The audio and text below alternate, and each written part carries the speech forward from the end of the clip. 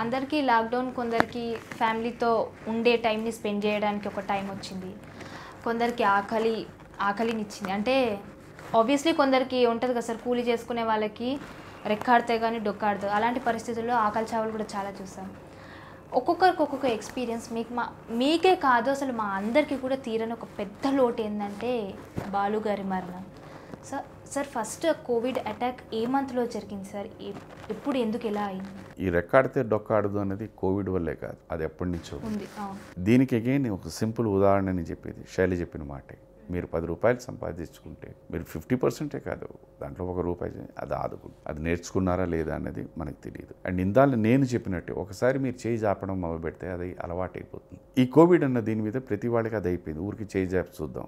తగిలితే తగిలింది. This is become a bad habit bad habit సార్కి కోవిడ్ ఎక్కడ వచ్చింది ఎప్పుడు వచ్చింది ఎలా వచ్చిందని ఎవరు చెప్పలేమమ్మా చాలా మంది ఏదో ఈవెంట్కి వెళ్ళడం వల్ల అదే చెప్తున్నామా we do not know we to be very frank ఇప్పుడు పోస్ట్ మార్టం దాని గురించి దాని గురించి విశ్లేషించుకోవడం వేస్ట్ అంటే ఎక్స్పెక్ట్ చేయలేరు సార్ ఎవరో ఎక్స్పెక్ట్ చేయలేదమ్మా.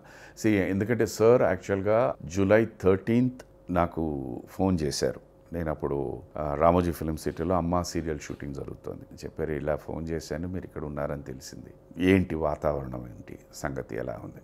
చెప్పాను అక్కడ whatever is the precautions వాళ్ళు తీసుకుంటున్నవి? అవన్నీ చెప్పాను. అప్పుడు చెప్పారు మాట ఇలా పాడుతా తీయగా చేయాలండి. సార్ మేమైనా ఇంకా రోడ్ల మీద వాటి మీద వీటి మీద షూట్ చేస్తున్నాం. మీ సెట్ వర్కే కదా సార్ అండ్ మినిమం పీపుల్ అంటున్నారు సేఫ్గానే ఉంటుంది అని. నేను చెప్పిన వాడిని. Then he came on twenty sixth వచ్చారు ట్వంటీ సిక్స్ ట్వంటీ దాని తర్వాత వాళ్ళు సామాజిక వర్గమున చేయాలి. అప్పటికి ఏంటంటే మాకు నేను ఇక్కడి నుంచి హైదరాబాద్ నుంచి చెన్నై వెళ్తే ఫోర్టీన్ డేస్ క్వారంటైన్ అన్నది మస్ట్ సో వాళ్ళు రిక్వెస్ట్ చేసినట్టున్నారు. మళ్ళీ వెళ్ళి రావడం ఎందుకండి? ఒక టూ డేస్ ఉండి మీరు ఫినిష్ చేసి వెళ్ళిపోవచ్చు కదా. I felt that also is a good idea దగ్గర దగ్గర ఫార్టీ సాంగ్స్ రిహర్సల్స్ చేసి పాడి వెళ్ళారు. ఇక్కడికి రాకముందు చెన్నైలో ఒక ప్రోగ్రామ్ చేశారు. We do not know where అక్కడ చెన్నైలో ప్రోగ్రామ్ చేసినందుక ఇక్కడ రిహార్సల్స్ చేసిన వాట్ ఎవర్ ఇట్ ఇస్ అది ఎప్పుడు వచ్చింది ఎలా వచ్చింది అన్నది మనం పక్కన పెడితే I had an attack of Covid అది అది నిజం. నేను ఈవెన్ టు ది హాస్పిటల్ వాళ్ళు కూడా అక్కర్లేదండి మీరు ఇంటికి వెళ్ళిపోండి అన్నారు. ఇంట్లో మనవలు మనవరాళ్ళు ఉన్నారు కదండి. ఇలాగ అక్కడైనా నేను ఐ హావ్ టు బీ నేను ఐసోలేషన్ దాని బదులు ఇక్కడ సేఫ్ మీరు అందరూ ఉంటారని చెప్పేసి ఉన్నారు. వాట్ వెంట్ రాంగ్ అన్నది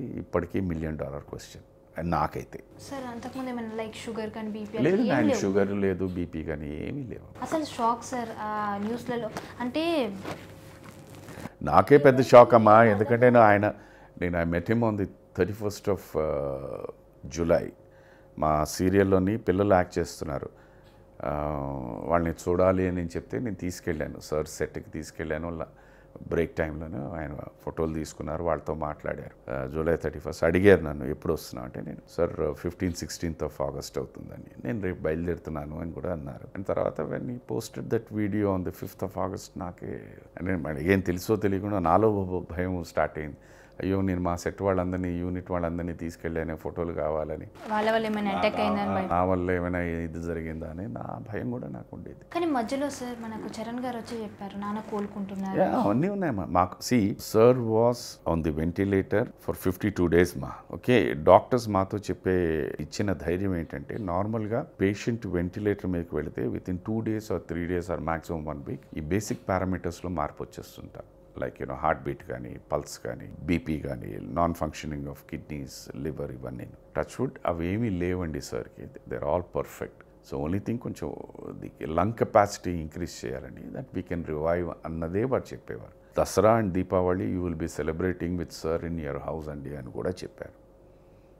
థింగ్స్ వెంట్ టాప్ సిట్ అవి ఎక్కడ ఏమైందని నో వన్ నో సార్